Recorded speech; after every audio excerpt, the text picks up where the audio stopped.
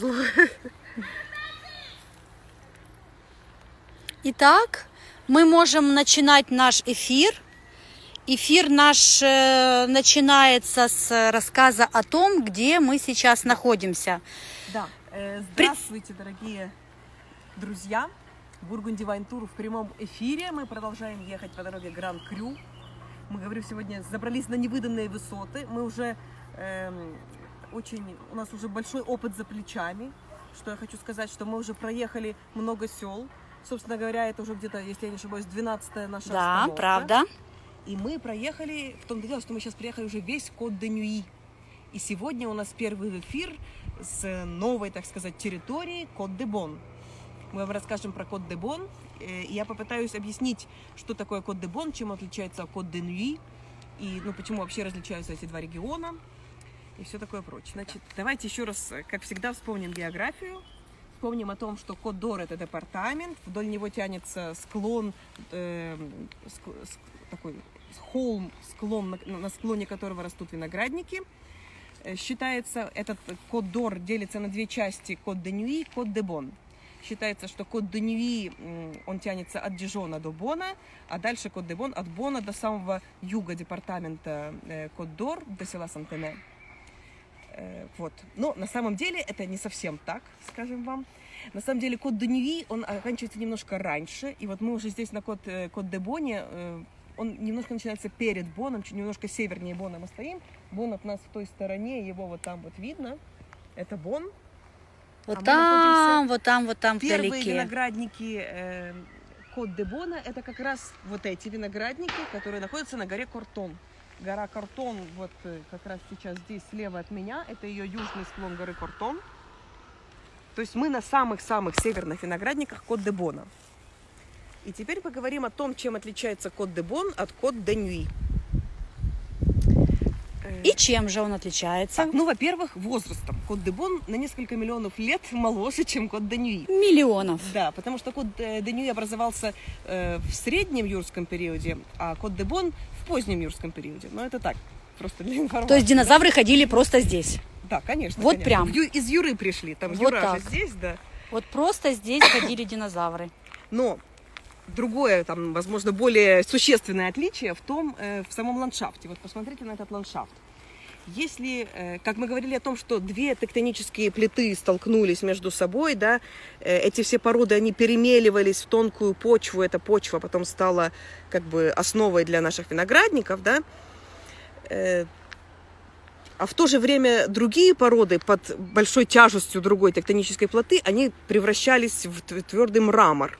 И, собственно говоря, э, вот здесь недалеко отсюда, в нескольких километрах отсюда есть Коргулуан, там есть эм, этот, как он называется, карьер, кар- Каргулю- ка- мраморный кар- карьер Каргулуан. Этот мрамор очень-очень ценится повсюду во Франции. По-моему, даже в Париже из него Да, в Лувре. В Лувре. Да, э, вот эти плиты в Лувре выложены именно из мрамора, взятого из Коргулуана. И даже и даже цоколь статуи свободы, который находится в Нью-Йорке, ведь это был дар Франции, как мы помним. Да.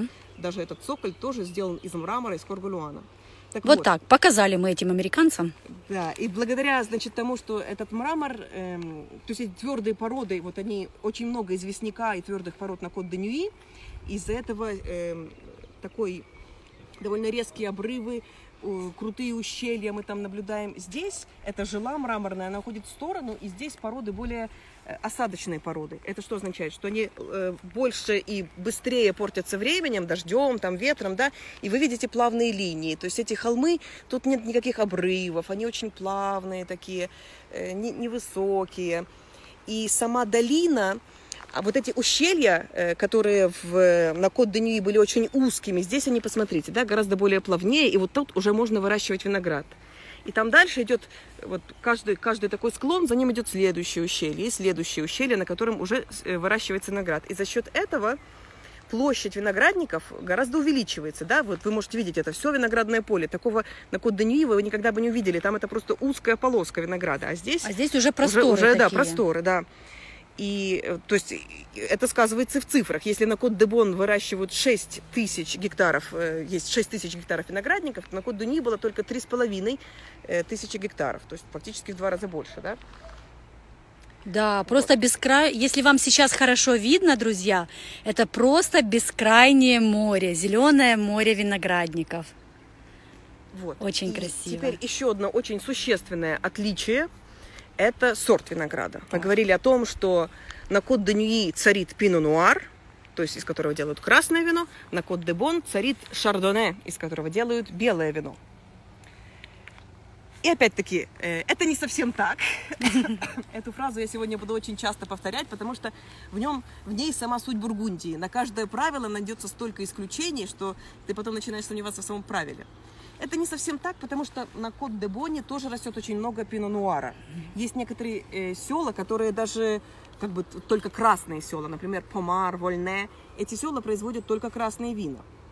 Но шардоне все-таки больше именно за счет вот этой долины. Смотрите, пино-нуар дальше продолжает ютиться по краю холма, а вот этой долине это в основном региональный шардоне.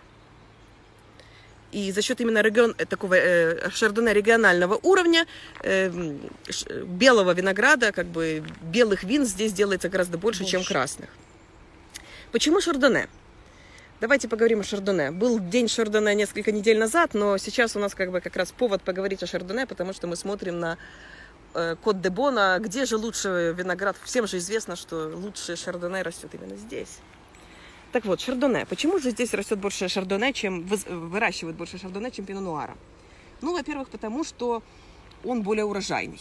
Поэтому, если у вас небольшой надел земли, то вам выгоднее вырастить виноград, который даст больше урожая и сделать из него больше бутылок вина.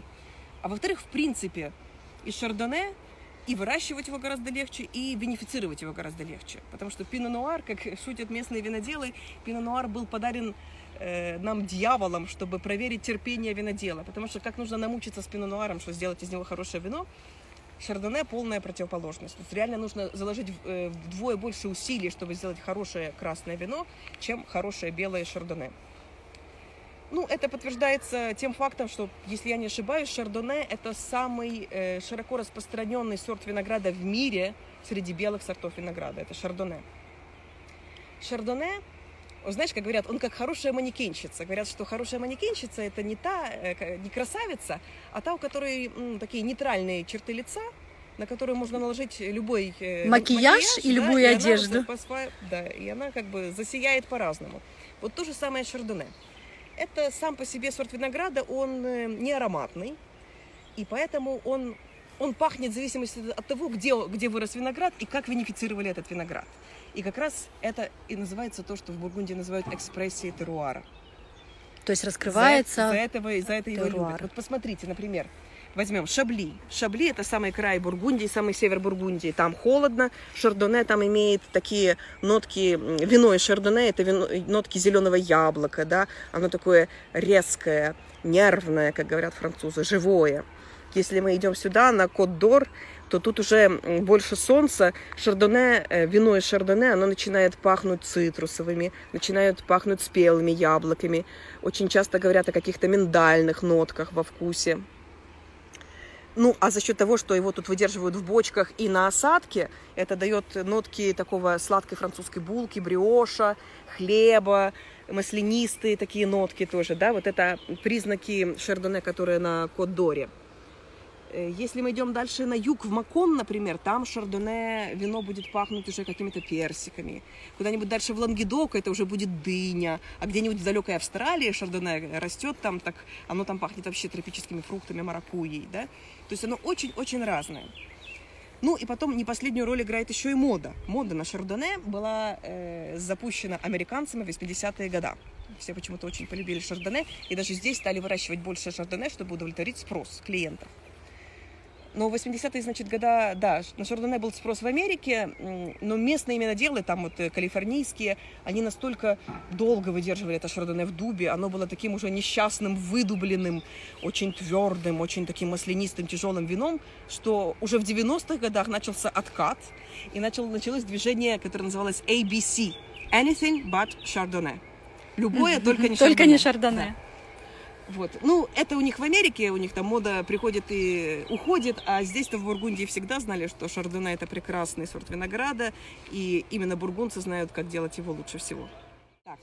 еще третье, последнее, о чем я хотела сказать, э, про такую разницу между Код де и Код де Боном. Если вы посмотрите винные карты, то, что бросается в глаза, что, собственно говоря, в Код де Боне не так уж много Гран-Крю. А Смотр... здесь мы сможем увидеть Гран-Крю? Сейчас, здесь... да-да-да, мы сможем увидеть Я смогу показать. Угу. Как раз здесь-то оно есть, одно из немногих Гран-Крю, да. Э, ну, почему, значит, если мы говорим, что вообще в Бургундии 33 Гран-Крю, одно из них в Шабли, это северный регион, там далеко, отсюда не видно, то 24 Гран-Крю находятся на Код де Ньюи, и только 8 Гран-Крю находятся на Код де Бон. Хорошо, я, я уже вам покажу. Вот смотрите, прямо куда мы смотрим. Сейчас. Это Гран-Крю Шарлемань на горе Кортон. Вот она. Вот э, стоят машины на дороге. Все, что выше этих машин, до леса, мне кажется, что вплотную до леса, а может быть, может там остается какая-нибудь тонкая полоска, не Гран-Крю, но вот эта вот средняя часть, это Гран-Крю домена Боне де Мартре. Прекрасно. Какой пологий, мягкий склон. Так, и что мы можем... Э, с... Ближе подойти? Не-не-не, хорошо, слышно, хорошо. Так вот, почему же э, на Код де Нюи так много Гран-Крю, а на Код де Боне так мало Гран-Крю? Можно подумать о том, что, ну, очевидно, хуже теруар, и, очевидно, вина хуже, поэтому, как бы, ведь мы знаем, что Гран-Крю – это высшее качество, это оценка, как бы, высшего качества вина. Но нет, это не совсем так, опять говорю я вам. Э, о, трактор поехал, смотри.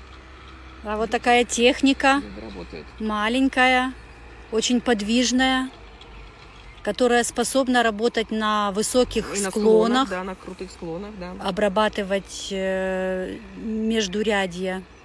Ну вот, я продолжаю. Значит, про Гран-Крю.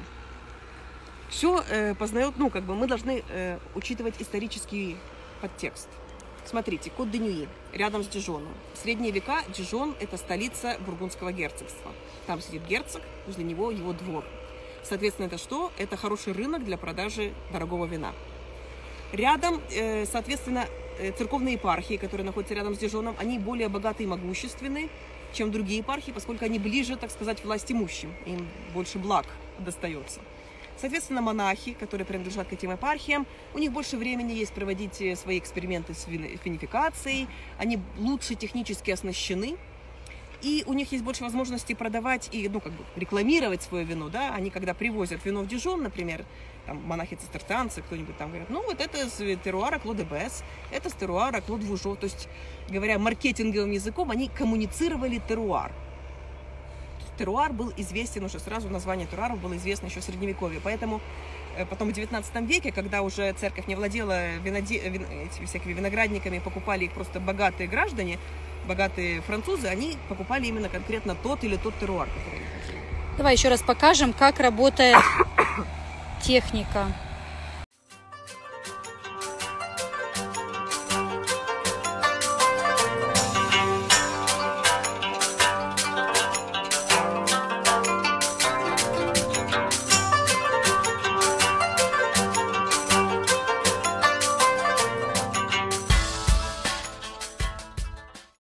Вот, теперь код де Бон. Ситуация другая, потому что герцогский двор далеко, э, виноградников больше, но монахов, которые обрабатывают меньше, в основном обрабатывается крестьянами. И понятное дело, что крестьянин, он э, не имеет достаточно средств для того, чтобы рекламировать свой теруар, свою маленькую часть. Поэтому для местных крестьян брендами были названия их сел, их сел. Мерсо, Помар, Вольне. Эти села были, вино из этих сел было известно в средние века очень даже, но никто не задумывался спросить, а где же, какой же теруар в Мерсо или в Вольне, да? Угу. Просто фиксировали по деревне. Да, по деревне. Э, потом в 19 веке это, э, эта ситуация вполне устраивала винных негациантов, которые царили тогда, как бы контролировали тут все. Винные негацианты, мы э, отдельно про них более подробнее говорим, поговорим, когда мы будем в Боне, потому что Бон это как бы их гнездо винных негациантов. Там, говорят, есть два города, наземный и подземный, из который состоит из этих всех кавов, подвалов винных, да. Там очень много винных негациантов. Но, э, что я хочу сказать, представьте себе ситуацию. Понятно, что крестьянину для того, чтобы сделать вино, ему нужны какие-то технические устройство. То есть, прежде всего, пресс, чтобы выдавить вино, чан, чтобы побродило, э, побродил этот сок, да, а потом, в конце концов, подвалы бочки, чтобы выдерживать это вино. И понятно, что у крестьянина этого нет. Поэтому крестьянин свой виноград предпочитает продавать винным негациантам. Кто такой негациант? Это не просто человек, который купил где-то бутылку и продал ее, хотя это тоже называется негациантом. Но негациант вот в таком классическом понимании это э, чел, э, ну, дом, да не знаю, предприятие, которое покупает виноград, а потом само винифицирует этот виноград, делает из него вино и клеит на этикетку свое имя. То есть для негацианта бренд – это его имя. С другой стороны, если, например, это вино было сделано из виноградников из какого-нибудь известного села, типа там Мерсо, то почему бы тоже не написать это? Это писали, например, там вино от Луи Жадо из села Мерсо, да? Но для негацианта думать о том, чтобы указать еще отдельный виноградник этого села, как бы нет, ему кажется, что в этом нет смысла. И, в принципе, в, кое в чем он, наверное, прав. Поэтому вот в 30-х годах 20 века, когда начинали делить все эти апелляционы, определять их уровни, кто премьер, кто, кто гран-крю. Э, это вот негацианское лобби, оно давило на комиссию, которая это все решала, с тем, чтобы э, апелляционов было как можно меньше, и чтобы э, значит, чтобы апелляционов было как можно меньше, потому что тогда он сможет взять со всех сторон, со всех как бы у разных виноделов он может взять виноград, его просто ассамблировать, смешать. смешать и просто написать а какой-то один апелляцион. Если же это разные апелляционы, это голова болит, что, что с ними делать, потому что смешивать виноград из разных апелляционов нельзя. Поэтому очень многие участки, которые действительно заслуживали уровня Гран-Крю, особенно это касается Помара, опять-таки Марсо, Вольне, там, где очень известные теруары, они были в конечном итоге классифицированы как премьер-крю. Сейчас, конечно, идет волна на то, чтобы дать им гран-крю, подаются всякие эм, запросы в ИНАО, в этот институт, который решает, но пока ничего не двигается с места, поэтому премьер-крю здесь все-таки больше.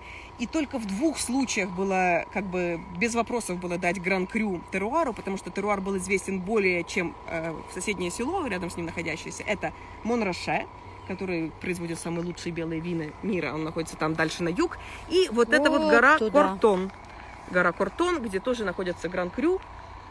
И, и вот она, гора Кортон. Сейчас мы вам от нее детальнее расскажем, мы чуть переедем на другое место, покажем вам эту гору немножко с другой стороны и расскажем уже конкретно ее историю.